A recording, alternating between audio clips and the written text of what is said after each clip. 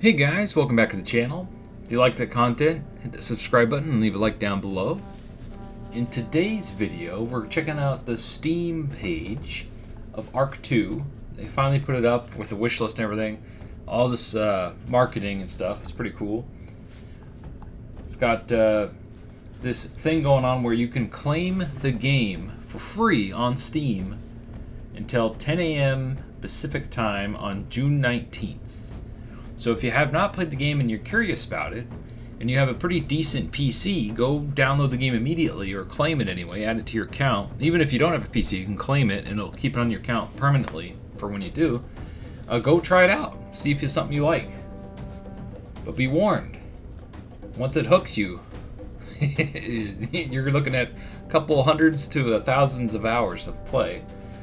It, it once it finally clicks, it's it's one of the funnest games I've ever played, even with all the jank. And then everything's on sale, of course. Uh, they got the new trailer on here. And then they got a new description, which we'll check out in a second. New map comes out today. I'm currently downloading it still. My internet is so bad, it's taking forever. And then they got some news on the animated series here. Character artwork reveal. So this is pretty cool. So let's just go through this. The animated series chronicles the story of the mysterious primeval land populated by dinosaurs and other extinct creatures, where people from throughout humanity history have been res resurrected when 21st century Australian paleontologist Helena Walker awakes on the Ark after tragedy. She must learn to survive and find new allies or die again at the hands of the ruthless warlords all while trying to uncover the true nature of their strange new world. It says they now have 14 30 minute episodes in post production. To celebrate this milestone, we have released the first poster images of key characters from the show available here. Sweet. So they got some characters. They got uh, Santiago, which is Vin Diesel. I'm not even going to attempt that name because I'll probably just butcher it. Played by Michelle Yeoh. Uh, Helena Walker, Madeline Madden. Uh, let's see, Kor the Prophet, played by Russell Crowe. Gaius the Merciless Nervia? Nerva? I can't read. Gerard Butler, nice. David Tennant. Rock oh, cool, Rockwell's in it. Sir Edmund Rockwell. I wonder if they'll show how he turns, you know, mutates into that big monster. Henry Townsend, Jeffrey Wright, Henry Jacobs. I don't know some of these people are. I'm sure if I saw pictures of them, I'd probably be like, oh, that person, okay. I'm horrible with names. So that's pretty cool. It's got some information here. It doesn't say... Let's see. Jay Oliva, Batman The Dark Knight Returns, Justice League, Flashpoint Paradox, has taken on the role of executive producer. Star Wars The Bad Batch. The show features extraordinary voice cast. Gerard Butler 300. All his, his voice talents will be pretty cool in this. And then, of course, Russell Crowe and Vin Diesel. Hmm, it doesn't say release date. Or it doesn't even say where it's going either. It didn't say Netflix or anything. Dropbox.com. Huh. Anyway, let's go look at the description here. Click on ARK 2. Alright. Okay. Here we go. About the game. Let's go through this and then we'll end the video. Suddenly awakened on a strange primal world filled with dinosaurs and humans struggling for dominance you must piece together the history of how you arrived there. Team up with legendary heroes and confront powerful dark forces seeking to control the fate of all life. Saddle up and join the definitive next generation survival experience with Ark 2. Every aspect of Ark series or of the Ark series has been rethought and redesigned in the sequel.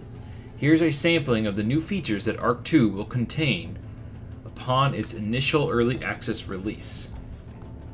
Epic Story, starring Vin Diesel, Riddick, that's funny, As a legendary hero, Ark hero Santiago experiences an epoch spanning adventure as he seeks to protect his daughter Meeka, voiced by.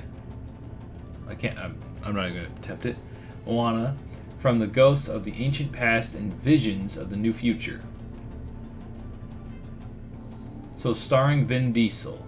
So, yes, you are going to play as Vin Diesel. Of course, he had to. Uh. Alright. Uh, revolutionary cross platform modding.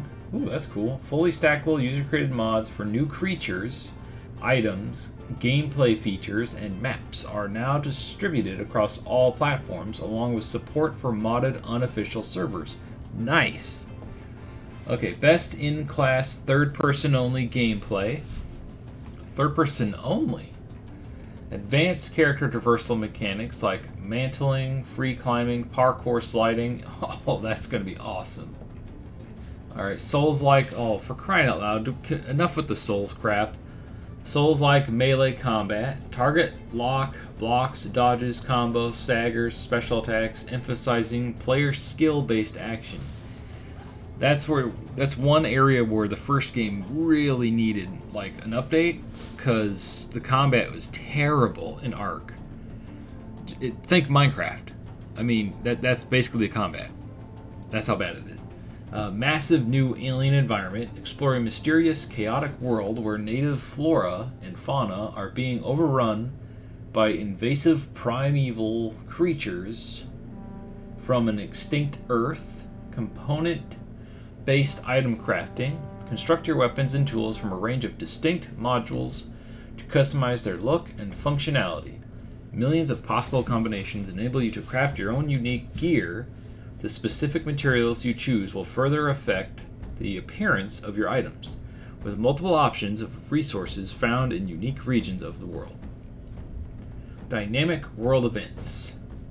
Natural and unnatural occurrences are always happening across the game world. Independent of your presence, your choices in deciding whether to interact with these events will yield rewards or challenges. Cool. Opposing PvE force. Hostile Arate hunt and attack you, riding their own tamed creatures as they seek to drive human interlopers from their world. Sweet, so you're. It's like they're alien stuff. That's cool.